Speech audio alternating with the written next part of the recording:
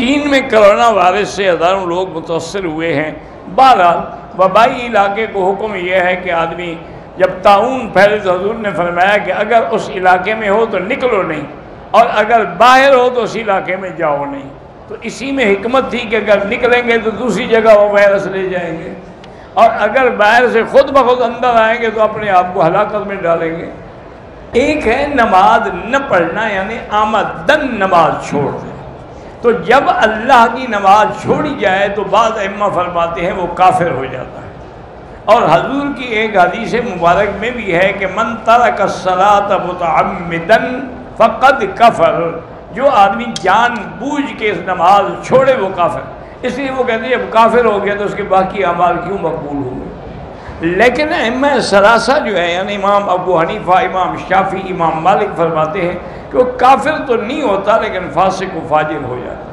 اس لیے نماز نہ چھوڑا کرے۔ باقی جو کام اچھا کرو گے اس کا ثواب ملے گا۔ میں جب تنہائی میں ہوتی ہوں، اللہ کا ذکر بھی کرتی ہوں تو رونا نہیں آتا۔ اس کا معنی ہے کہ دل پہ میل ہے۔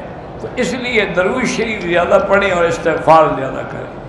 بیت المقدس قبلہ تھا لیکن اللہ نے تبدیل کیا تاکہ لوگوں کو پتہ چل جائے کہ مسلمان کسی پتھر کا یا کسی جہت کا تابع نہیں، وہ اللہ کے حکم کے تابع ہے اسلام میں قوالی کے ساتھ اگر یعنی ساز بات ہے وہ ناجائز ہے قوالی میں غلط کلام ہے تو وہ بھی ناجائز ہے اگر قوالی صرف مدح رسول میں ہے تو وہ جائز ہے اگر فجر کی نماز کی دو سنتیں نہیں پڑھی، نماز میں شامل ہو گیا، تو اب افضل یہ ہے کہ سورج نکلنے کے بعد وہ دو سنتیں جو ہیں پڑھیں۔ وہی دو سنتیں قضا کرے فجر کی۔ بارہ غیر مسلموں کے لیے بھی یہ دعا کریں کہ اللہ ان کو ہدایت دے۔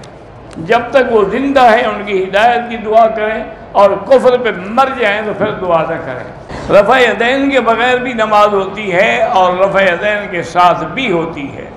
یہ فقط اعلیٰ اولیٰ کے مسئلے ہے کوئی کفر اسلام کی جنگ نہیں ہے۔ فاتحہ جو پڑھتے ہیں ان کی بھی نماز ہوتی ہے جو نہیں پڑھتے وہ بھی حدیث پہ عمل کرتے ہیں۔ آدمی نے خودکشی کرنے کی کوشش کی مرا نہیں ایک دو مہینے بعد مرا ہے۔ بارہ یعنی کوشش مرا تو اسی زخم سے ہے نا۔